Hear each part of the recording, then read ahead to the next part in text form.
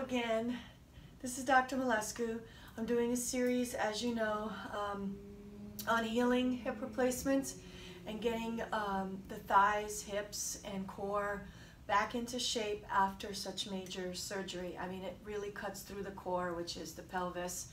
Um, so I wanted to show you, uh, demonstrate the squats that we can do to strengthen everything, but it's one step up in terms of stabilization and causing isometric contraction not only of the thigh muscles but also the lower legs and the intrinsic muscles of the foot like the lumbricals and interossei in between the metatarsals. So it also stabilizes your ankles. So if you have weak ankles, if you have lateral ankle instability, the balance pad is great.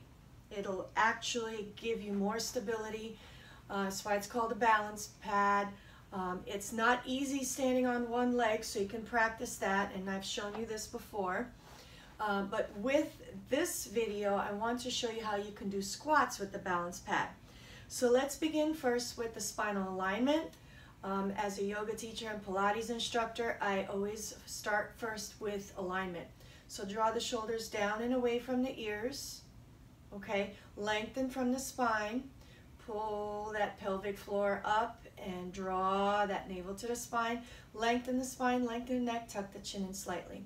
Keep the knees uh, not overextended, so you don't want any genu recurvatum. So keep them a little bit loose, not too um, overextended, all right, because you don't want to hyperextend those knees. All right, so with this exercise, you're going to inhale as you bring this ball up, and you can use anything you want. You can actually use weights. Um, so I have the medicine ball there, but I have a bigger ball. You can use small balls, whatever works for you. All right, so here we go. You're going to inhale, raise the arms up, sit into your squat, and slowly exhale as you come down. All right, and what I want you to really focus on is keeping the spine straight and literally pulling that buttocks outward. So you're sticking your butt out. It's almost like a skier ready to jump. Okay? And then slowly come back up. All right? So as you inhale, raise the arms up.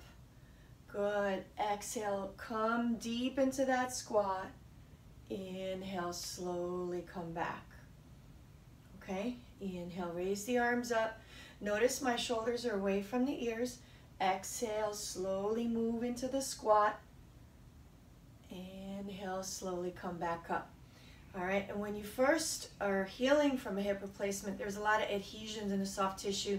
The rectus femoris muscle right here, the vastus lateralis, vastus medialis, these are all the quads.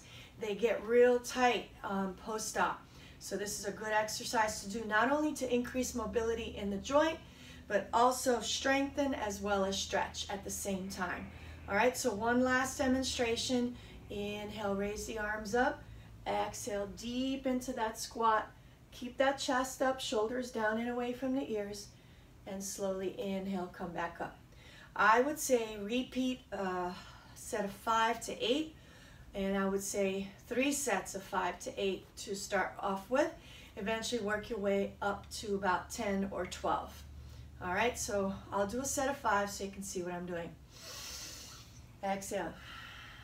Inhale. Exhale. Inhale to prepare. Exhale. Inhale. Inhale to prepare, arms up. Exhale deep into the squat. Inhale. Okay? And that is doing squats on a balance pad. You can get the ProSource balance pad on Amazon for 20 bucks. All right, till next time, I will see you again. Bye for now.